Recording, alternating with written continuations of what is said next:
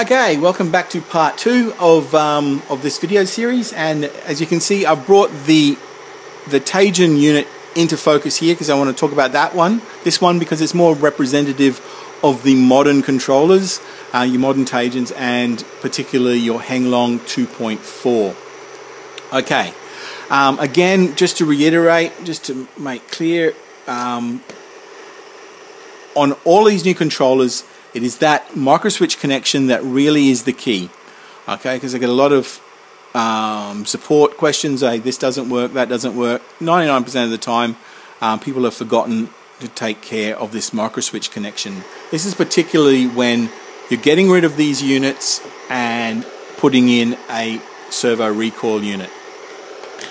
Okay, so as you can see, I've removed the uh, micro switch input so when I go to fire, nothing happens. Right? Um, okay, so what I have done on this new version of, of Mako, Mako 2018, is I've included a microswitch replicator. Okay, so this is this connection up the top here. It's a new connection for Mako.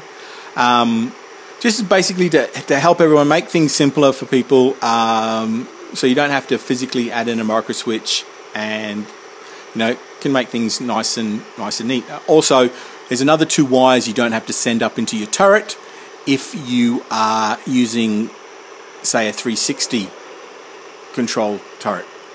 Okay so you just simply plug that into you make the microswitch replicator into the microswitch port and if you notice there's still the three switches there sorry three contacts there for your flash unit. So with that put in there we should be able to fire. Now before I do that I'm going to talk about triggering. This is now particularly the case of the Henglong 2.4 the timings on the Henglong 2.4 have changed and so a lot of actions happen later than they did on this older board. So the best way to trigger Mako 2018 using the newer Henglongs is to actually now take your signal input from the gun motor return, which is the same one we use when we set up this uh, relay to mimic the micro switch. So that's what I've done here. I've simply connected up to the gun motor return and I'm going to have an, included a new pin here on Mako specifically for make connection easy. So we will connect that up. So Mako is now for many, many, many, well, since inception, Mako has always been triggered by the IR pin going to ground. We're now going to trigger Mako using the gun motor return. And when we do that with our Henglong 2.4, everything will be in sync. Okay, so that's the connection now. The white cable is now triggering Mako, and we have our micro switch replicator. Having a Mako connected means we can now battle with everything. I used to be able to even battle with WSN, but I took that protocol off because no one uses WSN anymore. So when we fire our make uh, Taigen unit here, we have a stock Henglong. As you can see, no Mako connected. This is just your stock Henglong. When we fire our Taigen, we'll now be able to destroy or take a hit. Well, our Henglong will be able to take a hit. So, let's prove that. There we go, let's fire. There, and you can hear the Henglong gets hit. Okay, so, ooh, that's only, okay, I'm going to wrap this video up. So I might, um, yeah, so we can turn these things off.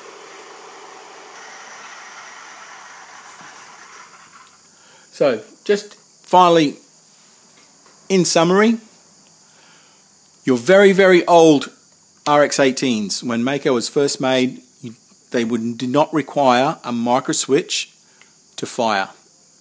As time went on, Henglong and Taigen wanted to sync the sound of the gun with the firing of the projectile. So they added a micro switch onto the back of their gun units. Okay, so where it used to go here. That micro switch then connected into those two pins on the RX-18. When that happened, the gunfire sound would only occur until with that micro switch closing. In that way, the BB unit was in sync with the sound.